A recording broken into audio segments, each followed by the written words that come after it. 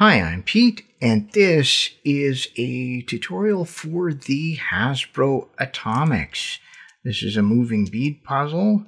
It's uh, functionally identical to the vintage Parker Brothers The Orb, so this tutorial will also apply uh, to, to that puzzle. Uh, so the uh, Atomix has uh, four rings of beads. It has two smaller rings which have eight beads each, and then the larger rings have uh, 20 beads each. Uh, it has a, just really one axis if you just count the, the that turn. Um, and um, the, the first turn turns the track into a continuous uh, loop of beads. The second turn uh, turns the track into two loops of beads, and I won't be using that uh, for this tutorial. And then subsequent turns um, just reverse that, continuous, and etc. Um, the other one that we will be using for the tutorial, though, is a 180 degree turn, which just um, takes half of each um, circle and just puts it uh, up against the other uh, circle. Uh, we'll be using that one quite a bit. So uh, I'm going to uh, go ahead and scramble this, and uh, then I'm going to do the tutorial. The tutorial only has three steps. Uh, there's many different ways of solving this, but I think that uh, this three-step method, I think, is uh, at least for me, is probably the easiest to explain and demonstrate. All right, well let's uh, let's get started with the scramble. So what I like to do for the scramble, I just have fun with it, turn it into the continuous loop, and just kind of move the beads. You'll notice I use my my back um, index finger here to kind of lock the beads or to move them. Uh, that's really the bead mover for the most part. Um, it's just kind of hidden in the back. Um, that's the, the downside to having such loose beads on this puzzle compared to the, the Parker, uh, the orb, is that the, uh, the beads will, sometimes getting the alignment uh, correct is, is a little harder. And of course, I think the smaller puzzle also kind of adds to that.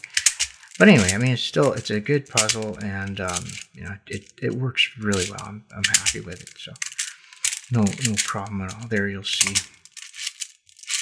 Okay, I just I just after telling you that I'm not going to do that, I just did it. I, that's the I inadvertently went into the the the where you have the two uh, chains, lines, tracks, two tracks, and like a baseball.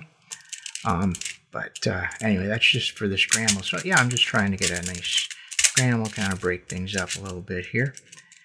Uh, yeah, that's it. Okay. So one of the kind of things about this kind of puzzle is uh, that makes it challenging is that when you're you're putting beads in um, in in one direction, the, the beads are also moving in the other direction. There'll be other beads moving. So that's one of the things that this the solve kind of will take into account here. Um, you know, it, I, okay, how is our how is our scramble? I'm just trying to. What I'm doing is I'm just looking. I see I have a bead here. Um, actually, I'm gonna. Yeah, let's let's just put it at the back. I'm going to put these two reds on either side of the split. Then I'm going to find a purple here. I'm going to do the 180 degree turn and move that, that in here. Then when I undo it, what's happened is I put the purple between those two reds. Okay, that's just kind of the way to way to split it up. And I'll do the same thing. I've got, I'm, I'm going to put a yellow between those two purples. 180 degree turn, put it in, and now we have a yellow between. So that's that's it. Um, yeah, I think we'll just kind of do a bit of that. Yeah, just a lot of fun. Okay, well, here we go. So uh, the first step uh, that I want to do here is uh, I want to solve the top uh, small ring. In fact, the first two steps is to solve the top and the bottom small rings. Um, now, remember what the color was on top here is just light green, and we have quite a few of them. And what I want to do is move as many of these light greens uh, up to this ring as possible and get them in a chain. Um, ideally, I'd have eight of them, all eight of them lined up. So um, I'm just going to take this one here for now, and I'll just I'll put it up in this, just kind of put it beside this one. There we go. Make sure no more get back down there. Okay, that's not too bad. And I see we have one up there. That's okay. That can stay up there. So now that I have these, uh, what I'm going to do, I'm going to look for if I have a, a group of them in this, this top ring, but I don't. I just have individuals. So I'll just put one here. And um, yeah, that, that'll be good. I want to put it on the left side of the, of the split. And then I'm just going to take um, whatever I have here. I have two, and I'm going to do a 180 degree turn so they're all in a row. And then I'm going to turn this ring. Now remember, this only affects this ring with the 180 degree turn. So then I'm going to undo that. And so I've, I've put three in a row here. And I'm just going to keep adding to that as best I can. There we go. Okay, and another one here. Okay, one more. This isn't too bad. Okay, so now there's no more in this uh, large ring or the small ring, but we do have a, a, separate one over here. It'd be nice if we could get it there. Um, so, so the way the way we do that this is going to work out. It sometimes it'd be hard. So if I put this right here and I put any piece, it doesn't matter, any bead in, when I move the the new bead there, it'll move whatever's here out. Now we're going to use that later for the third step, but in this case we'll use it to get this bead put in the this uh, lower ring. And the nice thing is that it just worked out that these are not going to be affected. So I'm just going to put anything, it doesn't matter, I'll put a red in there. Okay, I put it in there, and then I undo that, and you'll see that somewhere, there it is, there's the bead we wanted. And I'm just going to go ahead and add it to our big long chain here. All right, nice. So now I have seven beads, and then the eighth one is already there. So for the first step, to finish the first step, I'm just going to put all these beads on the right side of the split in this upper ring. Um, I got to figure out now, where does this go? I think that this is what we want. We're going to put this right here to the left, and then it, it'll add to those. So let's turn it up. We're going to go one, one move. Now, when we have this position, this curves, the, four beads here and the four beads here, those are the ones that are eventually, if when we undo it, are going to be the top ring. So if I just move all of these beads now until until they're both filled up. So that one has the four beads and that one has the four beads. Now, when I undo that move, when I undo the turn, um, we'll have the top ring done. Okay, and now, yeah, because I've kind of jostled stuff around, we just have to kind of jostle it. And look at that. So now we have the top ring is done, and um, that's great. That's step one. Now, we were able to do that because nothing else was solved. So when we do the second ring, we're just going to have to be a little, little careful, and I'll show you how we do that, that we, that we don't mess this up. So what I'm going to do now is turn the puzzle 180 degrees. There we go. So that the original top ring is on the bottom. And now we're going to work on this, which is the gold. And really, I'm going to use the same technique. Use 180 degree turns. Don't won't affect this at all as long as we don't jostle it. Um, we have the same issue here that we had before, which is that we don't have uh, any of these. Um, so I think, um, yeah, we'll, we'll just go ahead and, and use the same technique. Um, so I'm just going to add here. I think that'll be the, the way to do it. So we'll take this, turn it 180 degrees. Here. Now, just uh, as I'm doing this, remember that whatever is here, when I when I put something back there, whatever's here is going to end up in the lower ring. Um, it doesn't matter at this point, but we're going to take advantage of that in a sec. There we go. Got that one. And put that in. Nice. Okay, so we we're all out of yellow ones here. We have one out there, which is good, but we have two right here. So what I want to do now is I want to get these two down here so I can put them where they belong on the end of that chain. Um, so what I'm going to do is I'm going to put anything in there. It doesn't matter. I'm going to put this red here. As long as this is positioned on the left side up here, this will end up down here. And I'll show you. We do that, put the red in, and look at that. I have a, a yellow, and I can use that yellow, and I can add it to the end of the end of the chain. I just moved it back. And we'll put that yellow in there. And so I'll, I'll do that for this last one up here. I'm just going to put a purple over here. Okay, I got the yellow, and now I just move this this chain back so that the the the end of it is on the left over here, and I'll move this back. Move this into place. All right, fantastic. So now I have seven of these, and there's one up there. Now notice we, we haven't done any, any harm to this bottom here. But I do want to show you something though. Um, when we uh, when we do put these up here, we can't just shove all seven of these into this mix. Okay, that's not going to work for us, and I'll show you why. Okay, um, let's uh, let's just try. I'm just going to try putting um, one in. Okay, so all I did here was I put one in. Okay, and then I gotta bring it back here.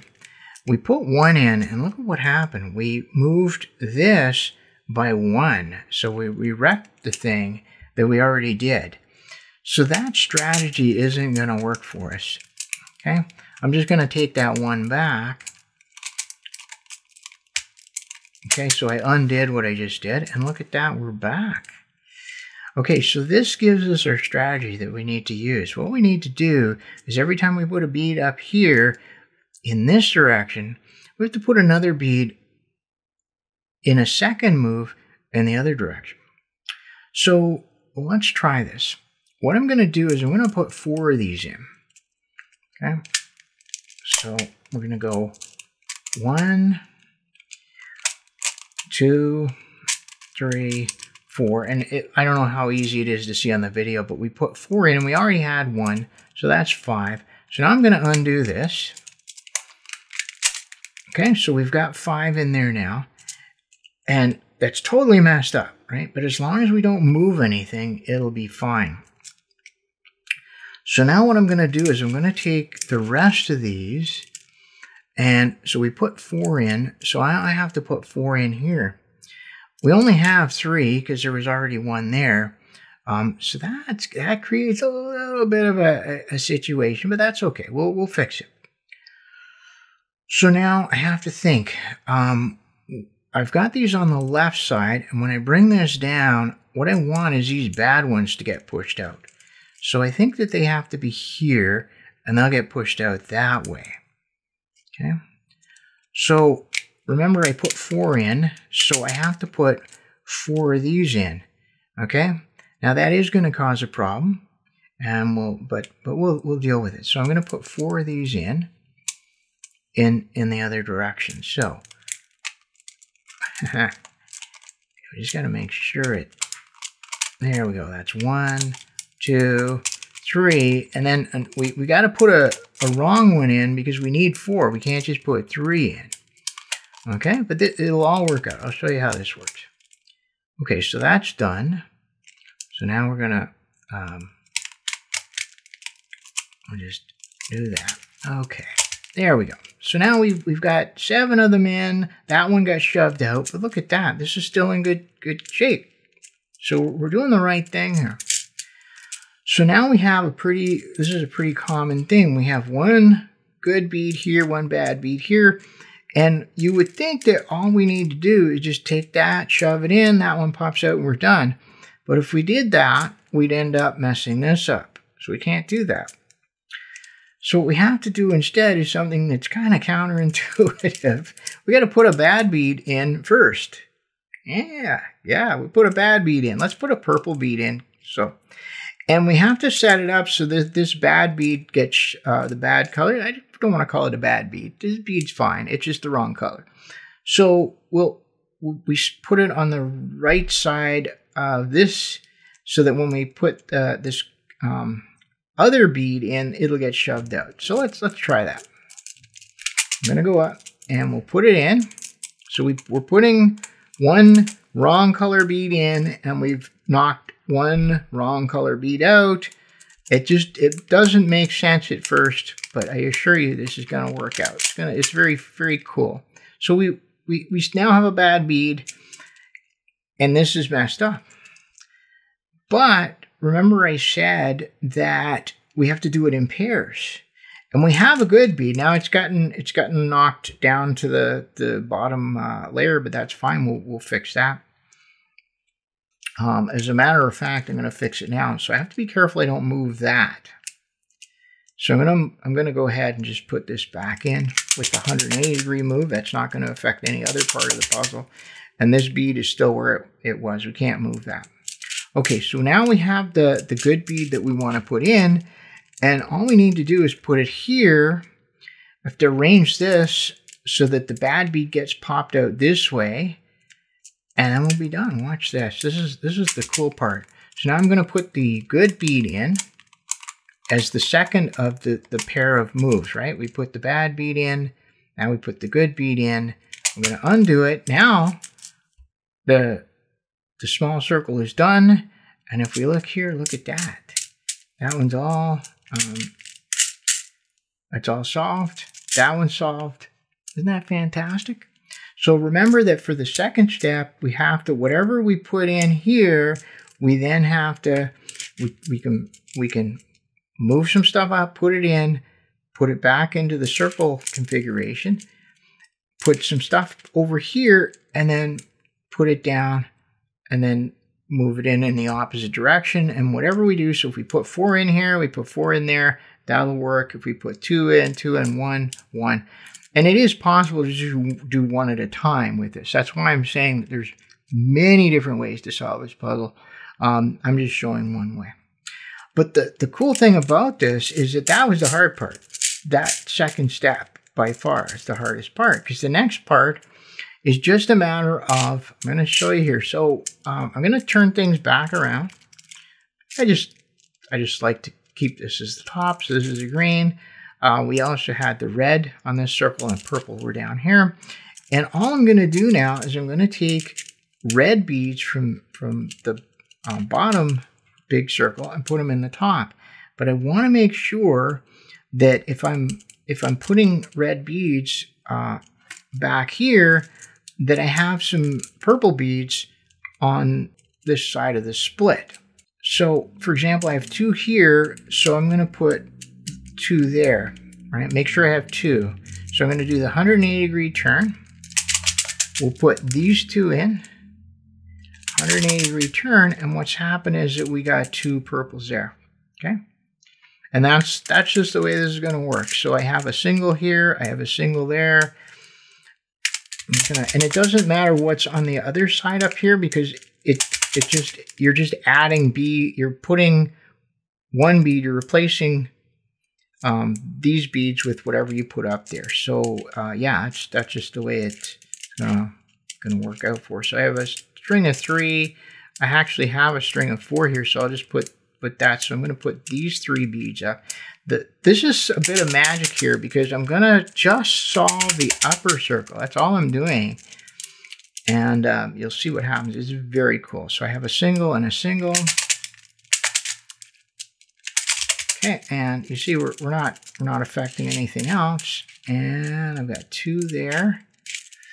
So I just have to do them one at a time. There's one purple. And there's the other purple. Okay, and look at that. So by completing the upper ring all one color, it automatically completed the lower ring. And the Hasbro Atomix is solved.